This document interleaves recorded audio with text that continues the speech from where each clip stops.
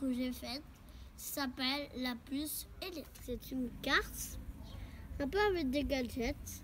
C'est qu'en fait, quand on, parle, non, la puce va enregistrer euh, la voix et grâce à une mini caméra va observer les images. Du coup, et, et pour se transporter d'un endroit à l'autre, un propulseur électrique microscopique. Mais la puce est au moins à la taille de ça. Elle est petite la puce. Hein. Elle a deux jambes. Au bout des jambes, une piqûre, des pics pour attaquer. Électrique. Qui vont très puissant.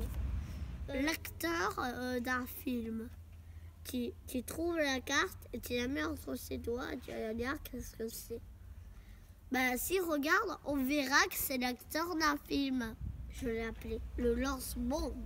C'est en fait une sorte de lance-bombe. Ça lance quelque chose.